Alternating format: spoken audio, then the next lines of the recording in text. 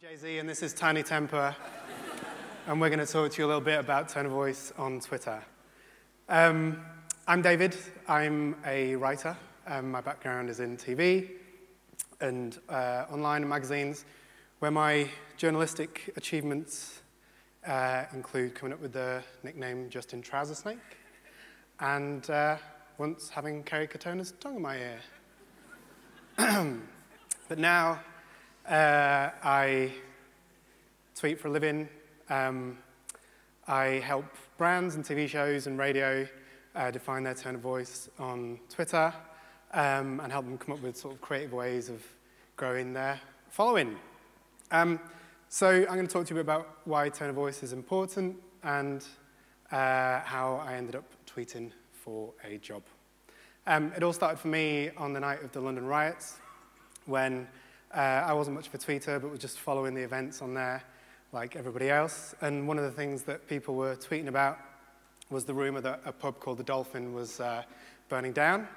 Um, if you haven't been to the Dolphin or you don't know it, it's sort of kind of like the Kavos of East London. Um, it's the place you go when everywhere else is shut and um, rave to club classics and R&B until uh, five in the morning. Um, and having just moved across the road from this classy establishment, um, I tweeted saying, oh no, it's fine, I can see it's fine. And people were replying saying things like, you know, thank God for that, it's the only pub I'd ever had sex in, uh, and um, all kinds of sort of filth um, that was very amusing. Um, and I couldn't believe that the Dolphin didn't have its own Twitter account, so I decided to set one up. It's real highbrow stuff. Um, it wasn't something that I had planned to, to live on beyond a couple of days. But by the following morning, it had over a thousand followers, um, and people seemed to be really enjoying talking to it. So I decided to uh, keep it going. and um, soon it started making a few um, famous friends, like Caitlin Moran, uh, and people like Grace Dent, who were very nice about it. Rizzle kicks, and I won't go on. But um, then, yeah, few, fast forward a few months, and the dolphin was dipping its fins into matters outside of the pub, um, such as the Olympics, when much to my surprise and uh, excitement, the following tweet about an athlete called Katrina Johnson Thompson went on to be one of the um, top tweets of Super Saturday, despite the uh, amazing things that were going on there.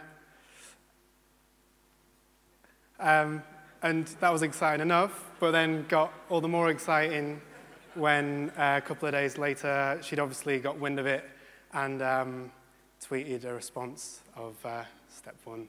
So I'm responsible for that love.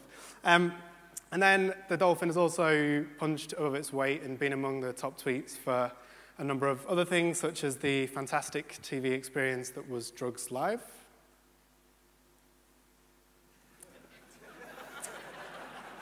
Thanks.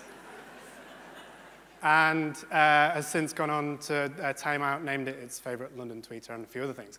But to cut a long story short, um, it's gone from being something that I set up for a bit of a laugh to something that has changed my career. Um, and it's had a big impact on the pub itself, who um, say they get a lot of people coming in every week who um, are there because they've been following the tweets.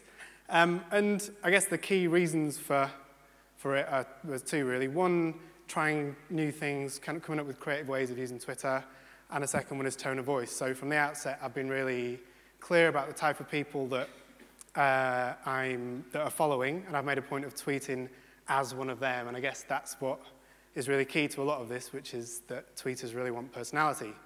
Um, so on the back of some of the Dolphins' achievements, uh, I started getting asked to tweet for other people, which was very exciting, and for cash, which was even more exciting. Um, so I started tweeting for people like Adidas and Money Supermarket and um, Polydor Records and BBC One's The Voice.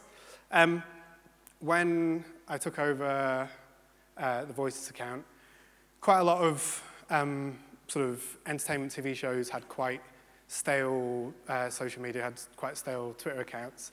um, often just pointing to links on iPlayer or Channel 4oD or something and uh, reminding people to tune in. But by putting a bit of love and care and attention into tone of voice, um, we managed to sort of break a few BBC records in terms of um, uh, followers and engagement for a first series, and we made a few headlines. Um, so, uh, yeah, the, the, Voice managed to beat um, Britain's Got Talent, the big juggernaut that is the Simon Cowell machine. And then uh, I also sent a few tweets to Simon Cowell's mate, Sinitta, inviting her to come and uh, hang out with Danny O'Donoghue, which apparently left him raged, said the uh, Daily Star, which can only ever be a good thing. Um, another thing that's really key to success on Twitter is being able to enter a conversation that lots of people are having and putting your own spin on it, um, which is something that sounds really obvious and really easy, but it's something that actually quite a lot of brands, most brands, I think, are, are getting wrong. Obviously, not the ones that we've seen before. But um, so these are a couple of examples. Um, when Andy Murray lost in the final of the Australian Open, these are both mine. So, sort of a couple of different. Um, so, one was uh, rewriting some Jessie J lyrics uh, to, use, to shoehorn in Andy Murray, um, which went down well with her fans. And then a slightly less successful approach, uh, slightly more lazy on Money Supermarket, where I chose just to tweet epic, that got the massive one retweet. So um, we can all take something from that, I think. Um, and something else I like to do on Twitter is um, use sort of recurring features and themes, kind of like in magazines, um, that give your followers a reason to keep coming back to your feed and that sets your feed aside from other ones, which I think is really important. Um, and there's a few sort of examples of this. So one is star signs, which is normally just me taking star signs off the sun horoscopes or something and dolphinifying them, which is normally just adding a swear word uh, or something to do with 90s R&B. Um, and then every Friday, I like to give, uh, thanks, thanks. Um, I like to give my followers um, a little Friday treat to sort of get that Friday feeling going, um, which is sort of all ended with uh, fuck it, it's Friday. Um, you know, obviously sometimes dipping into the sort of zeitgeisty uh, burger scandal. Um, but one thing I've found particular success with um, on the feeds that I look after is quizzes. Um, tweeters seem to really love a quiz. So the ones that I do, it's really simple. Just tweet a few questions, and it's the first person to tweet back um, with all the right answers and the hashtag in one tweet wins the prize, um, which for the dolphin is normally sort of a pint and a Twix, um, but depending on who you're tweeting for, it can be something different. Um, again, it's real classy stuff. but, thank you. The ones that I've done, so the voice is uh, one we've done a couple of times, and that's trended worldwide both times. Uh, the dolphins one was the first time I got the dolphin trending, which, considering what the dolphin is, was very amusing to me, and even more exciting by the fact that it was trending one place higher than the Nobel Peace Prize, um, which tells you a lot about people on Twitter. Um, but one other thing that um, is a real easy way to sort of grow your followers um, and attract a lot of attention quite quickly on Twitter is by having the right type of conversation with the right people in the right way at the right time. We saw O2 as an example, a really good example. They've had a few of them. Um, but I've had a few that have done quite well. One was a conversation with a jar of coffee, um, which to, is basically just a load of bollocks. Um, but I tweeted something about Douwe Egberts. They saw it and very bravely uh, decided to reply. And um, we sort of went into a long, quite surreal conversation that got loads of retweets, loads of shares, and popped up in loads of blogs and in papers and stuff. Um, and it, people seemed quite interested to see how an individual or a character interacted with a brand. And again, like we've seen with O2 and with Paddy Power, um, they, they were very brave to do it, um, but they handled it brilliantly. I think they pretty much doubled their followers and um, attracted a lot of attention. And got, um, so this guy, Neil Mann, who some of you might follow, who's now at the Wall Street Journal, called it possibly the greatest ever Twitter conversation. Could have left out the possibly. Um, and then since then, I've gone on to have a few more of these pointless but quite well shared conversations, such as one with the kebab shop Mangal. And if you're not following Mangal, I uh, urge you. Mangal 2, one of my favorite things on Twitter. Um, and this ended up just being Uh, a bit of a sort of playground uh, slanging match. Um, but again, lots of people talking about it. We both jumped lots of followers, um, and it attracted lots of attention. And spawned Wallblog to call it possibly the second greatest ever Twitter conversation. So uh, that was very exciting. Since then, um, I more recently had a similar conversation with Innocent Smoothies, who are brilliant on Twitter. Um, and again, it all sort of spiraled out of me tweeting something about being hung like an innocent veg pot or something. They came in, and we had a long conversation that, um, again, got lots of retweets, lots of shares, pops up, I think, in Metro. Um, and uh, yeah, it was very brave of them and uh, showed that they're not so innocent, you see. Thanks. Um, so the yeah, only other thing I was going to mention was the fact that I'm um, about to take over the Twitter for The Apprentice, this series. So feel free to start tweeting me all your insults about Lord Sugar. Um, we're going to try something a bit different. So the premise being that The Apprentice is all about power um, and uh, knowledge is power.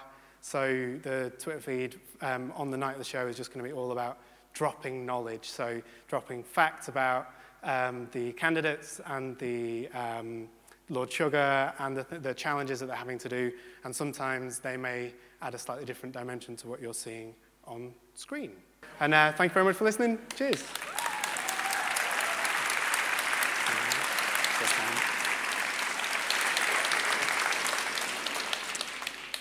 Hi, guys. Um, very rare you get the opportunity to follow Jay Z and precede Gary Lineker, um, so that's great for me.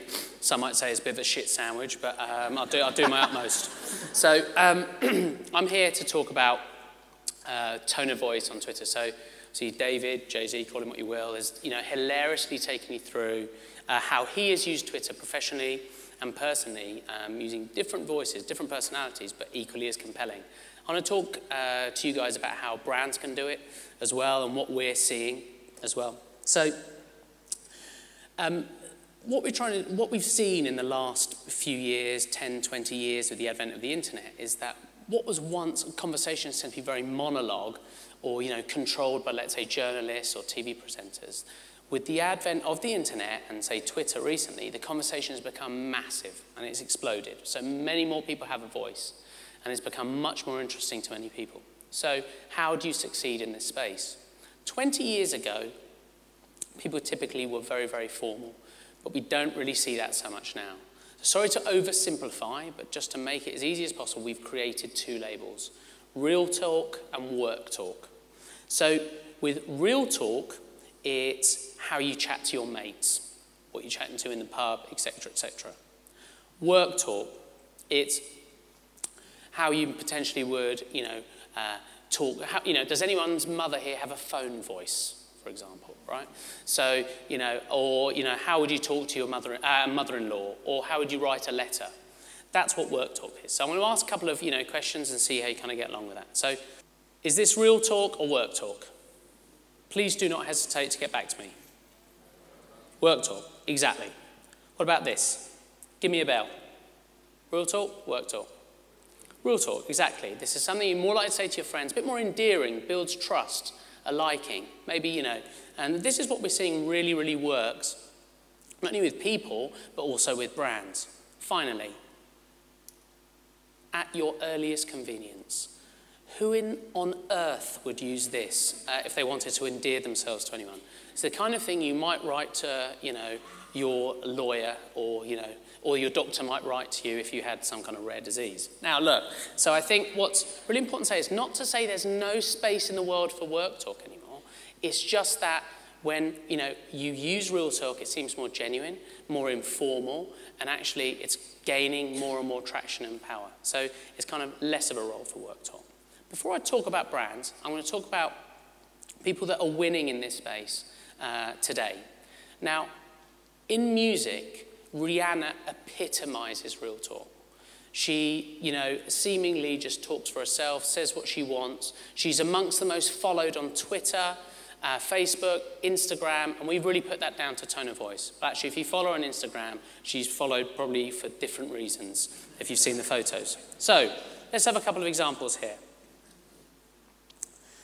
This gentleman, I believe, Chris Pack ASAP Shakur, writes mm, Rihanna, do you know your boobs are hanging out in like all of your videos? To which she replies, You're welcome. Next, Mr. Fish E. Poops writes Only females who are deprived of talent need sell their art with sex and, and soft porn. Right, Rihanna? To which she replies, Whatever you say, Fishy Poom Poom. and finally, uh, Drew Prosser writes, wow, as I look through, uh, and I apologize for profanity, as I look through Rihanna's timeline, I realise how unclassy she actually is. I see, uh, I, I see a lot of C's and F's, to which she replies, F-U-C.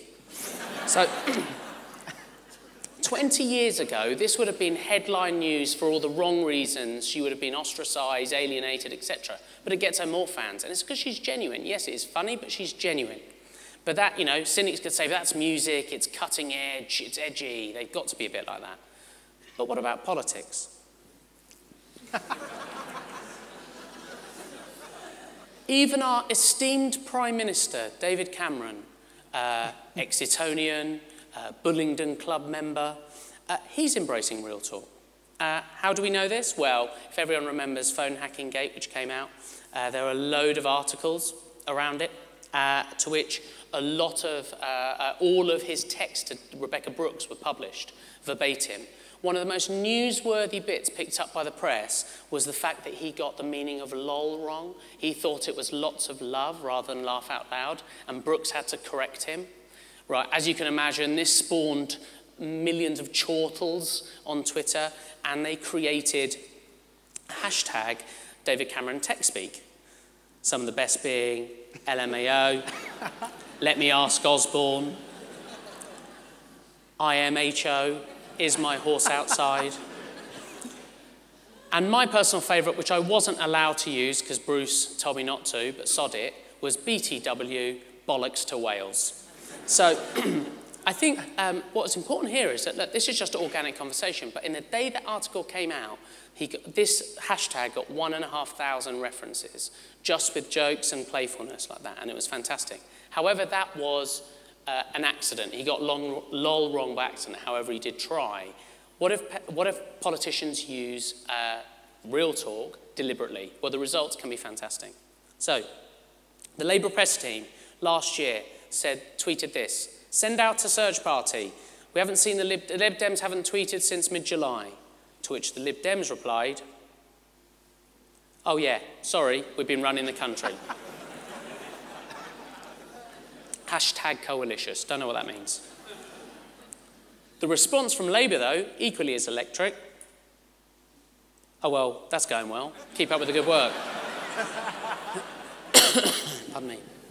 So I think what's you know, fantastic to note here is that this is playful. This is like banter. 20 years ago, uh, when I was a kid, 30 years ago, when I was a kid, uh, party politics was combative, antagonistic. You'd watch the Houses of Parliament full of old men, so formal, it seemed like they're talking in Latin. So, I mean, it was very, very difficult. Fast forward today, this is the kind of stuff that goes on. And it's interesting to note, the week after they tweeted this little kind of battle, their following grew more than for the rest, of, you know, uh, on that particular thing than any other period of that year. So it has impact. But that's a political party.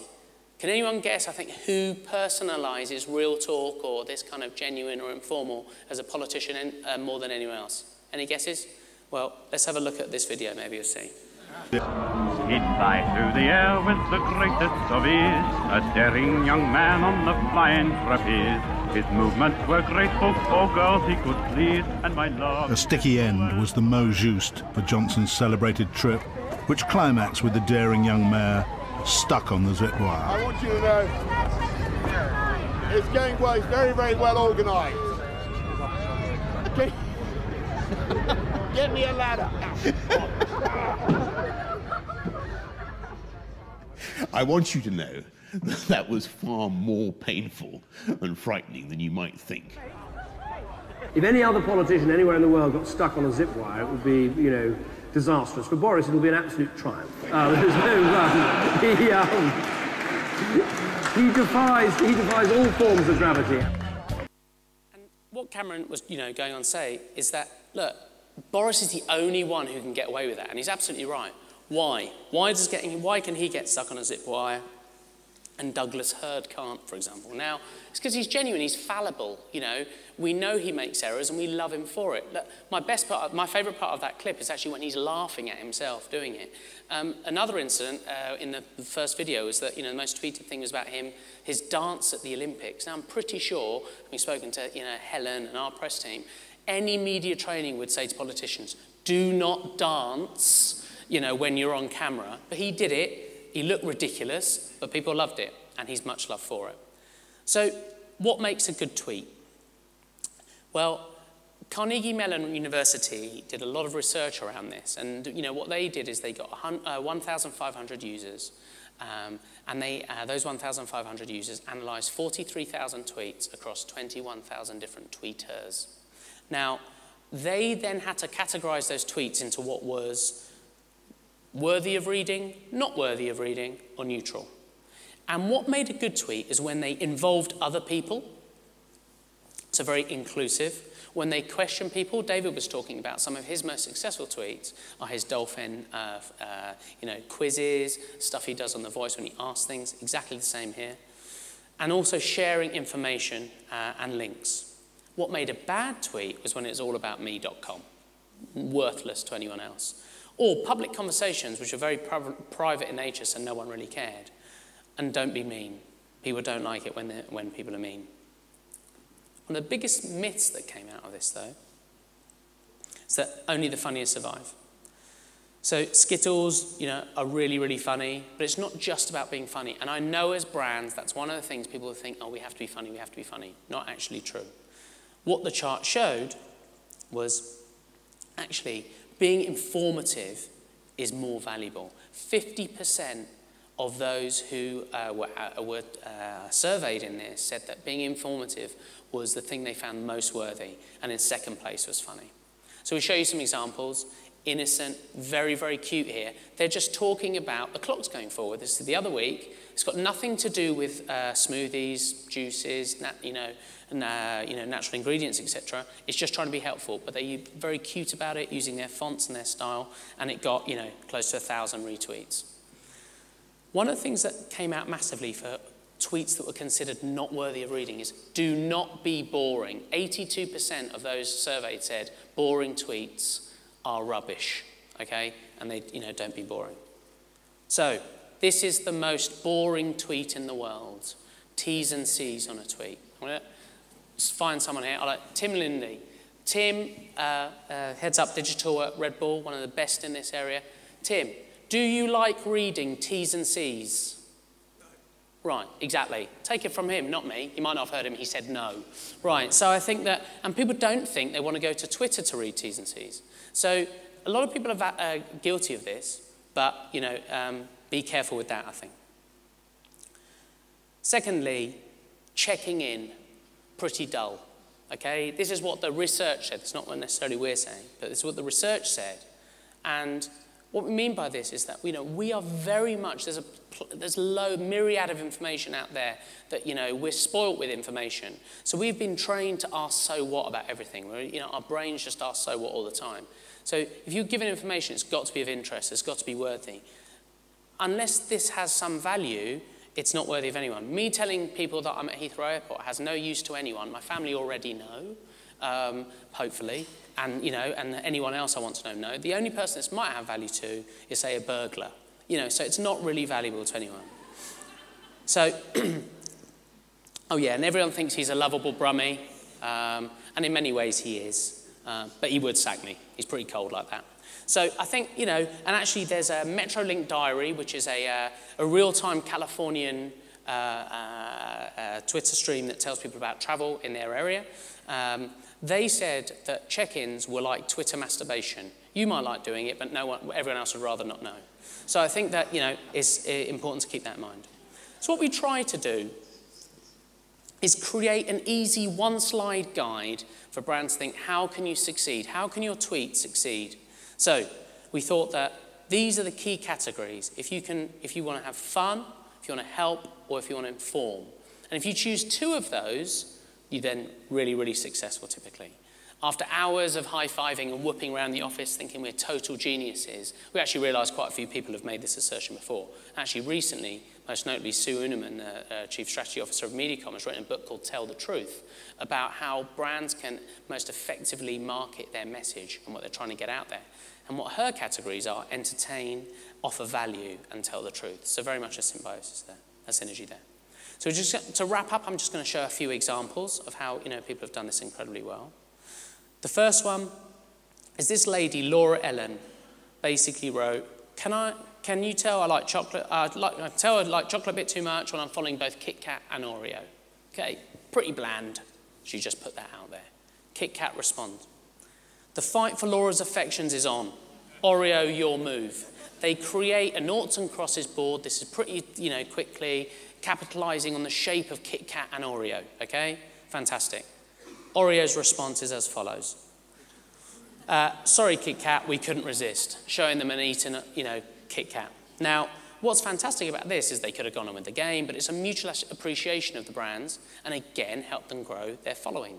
So, you know, it was really, really powerful for that. And again, this caused great PR for them.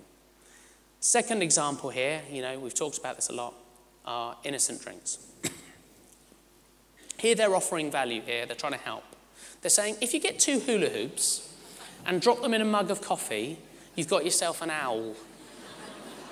a superb owl, to hark back to Ollie Snoddy. So, believe you me, there are, more, there are some of the more simple people in our office still believe that is an owl hiding in a mug. if anyone wants to know afterwards who it is, I'm happy to tell you. So that's another way, just a fun thing. Again, it gets a huge amount of retweets. And finally, HTC. HTC are an esteemed technology brand. They don't want to make jokes or have lols. So what they're trying to do, again, is offer a bit of value to the people who follow them. And what they've started doing is every Friday is they give, they capitalize, they know that, that people what like movies on Twitter. So they basically start offering uh, tickets to go and see movies. They put these tweets out, and within half an hour, they got a thousand retweets and their following grew. What that does is, yes, that engenders, you know, great warmth and help and again, this real talk, but it increases their following and gives them almost permission to talk to these followers about their new product services as well as the offers. So look, there are loads of brands winning in this space. That's just a few examples. Um, but we hope that, you know, by chatting about tone of voice, we can see that how you can make your brand uh, really succeed by using real talk. Thank you so much for your time today.